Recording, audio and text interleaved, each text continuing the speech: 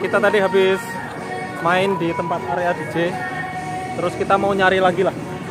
Mau nyari entah itu yang ada pemain biolanya atau ke Mas Denny lagi.